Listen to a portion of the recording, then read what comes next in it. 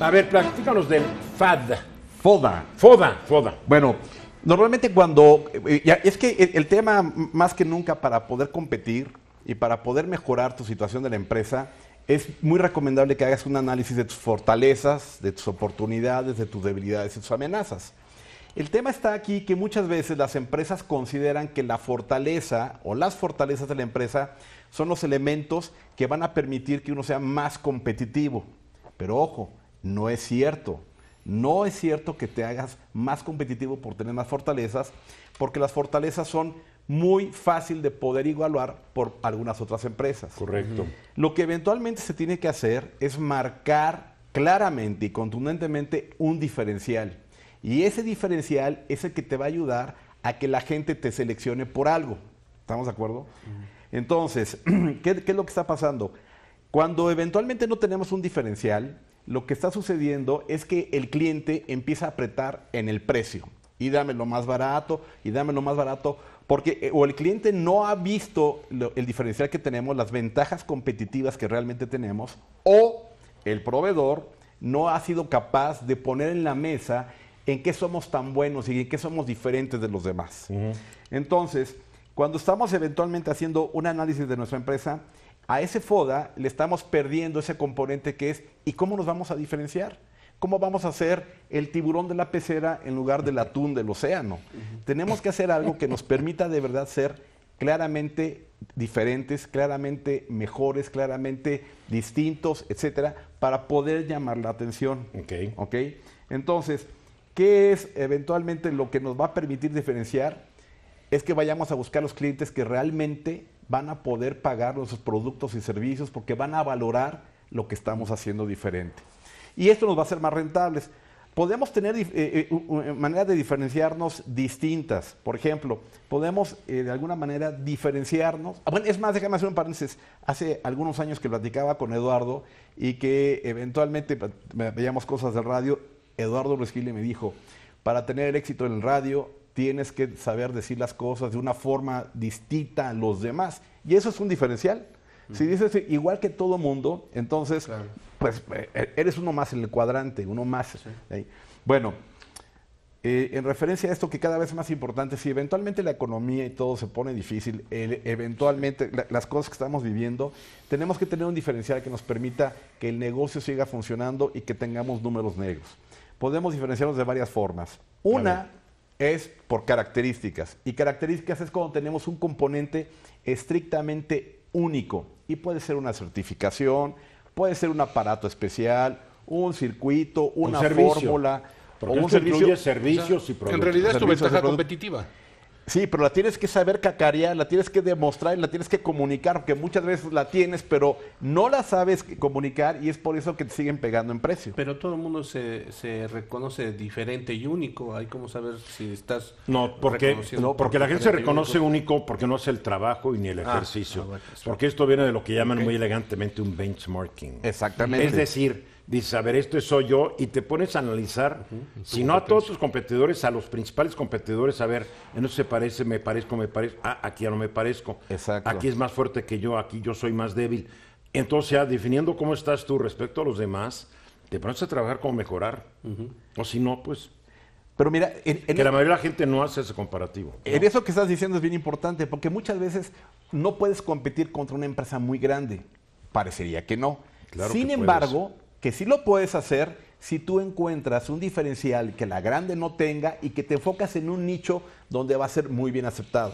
A ¿Estamos veces tu tamaño te permite, a veces el tamaño, si eres más chico, te permite moverte más ágilmente. Claro, tomar decisiones más No, rápido. y ofrecer valores agregados que una empresa muy grande no puede hacer. Claro, totalmente de Sí. acuerdo. Mira, yo hace años, y hace muchos años, hablaba yo con alguien que me, que me decía, tronó esta empresa. Le dije, ¿y por qué tronó? Porque se puso al brinco contra Colgate Palmolive. Se le puso frontal. Dije, pues claro que iba a tronar. Porque cuando una empresa es demasiado grande, tú tienes, tú no puedes ser otro transatlántico. Es, es- Es hay un libro clásico que se llama Mercadotecnia Guerrillera. Así es. la marketing. Donde dice que cuando tú eres chico tienes que aplicar técnicas guerrilleras. Sí, Y- sí. no puedes ser ejército. Exacto. Entonces eres como un mosquito que está sí. dándole lata a la competencia. Así es. Y buscas un factor que te diferencie para el mercadito que tú tienes. Y ahí, porque ¿Cómo vas a competir contra un monstruo? Te van a obliterar. Así es como la es. gente como Guillermo y como Lila. Claro, vamos a ponernos al brinco con los gringos. O sea, ahorita estás diciendo así es, así Jamás es. dijimos al brinco con los ahorita estás gringos. diciendo así es, así es, Jamás cuando estamos al hablando al de brinco, empresa. Estás viendo que el perro es bravo y le pateas la cuando una raja, empresa, cuando un país pequeñito en poder se enfrenta a la principal potencia lo barren. De la Pero historia, ese no es el tema. El- Ayer el tema con Lila es que México posiblemente podía haber negociado otras ¿cómo sabes que no pidió y lo mandaron ¿Y, por y un cómo tubo? sabes que sí? Bueno, no, no, pero ahí está tu falacia. No, No, ¿por tú estás diciendo podría y yo te pregunto cómo sabes que no lo Bueno, pidió. y por eso digo podría, O porque sea, no nos consta que tú sí no o lo que sabes no. como yo tampoco lo sé. Y como- yo quiero Ajá. suponer que dijeron, "Oigan, ayúdanos en esto y conociendo a Trump, ¿sabes qué les dijo? Lo que yo acabo de decir. Mm. No. Pues Es tu problema en tu frontera, resuelve. posiblemente. Que es la verdad. Porque ¿quién nos dejó entrar a México? Bueno, y- Ahora, ¿Quién también nos dejó entrar a Trump México? mandó, México. man- mandó agentes claro. de inmigración a Guatemala. así es. Sí, porque si yo veo un agente de migración en México, yo soy el primero que iba a protestar. Sí. Bien, cree. entonces el tema, en lo que están diciendo de, de- de- de- de los transatlánticos que se chocan, se llama, en, en ese tema de guerrillas, la, la- la guerra de flancos. Sí, Estás sí. dándole por el lado. Ok, otra forma bien interesante de poder competir y poder marcar un di- diferenciador es encontrar un nicho.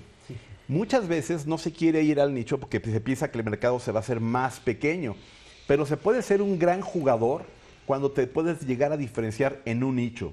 Y un nicho está compuesto por clientes que en su mayoría comparten los mismos intereses, los mismos gustos, las mismas preferencias y en el mejor de los casos las mismas necesidades.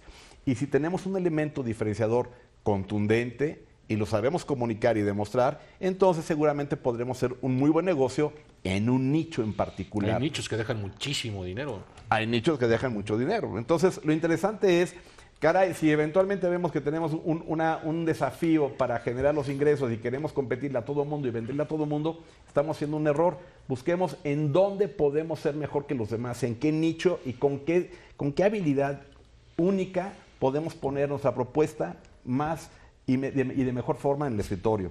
Está bien. Se reduce todo a ser creativos. Se reduce todo a ser creativos. Es que ahora Pero no, la es creatividad no es suficiente. No, no, necesitas dinero y necesitas muchas No, cosas. no. pues, innovación, Es que entender los procedimientos. Existe este mito de que la creatividad es todo y no, la creatividad no es todo. Necesitas sistema, necesitas método, necesitas conocimientos. Yo conozco gente bien creativa que no tiene método, sistema ni conocimiento. ¿Sabes cómo les va? Papaye. Cero. Cero. Por favor.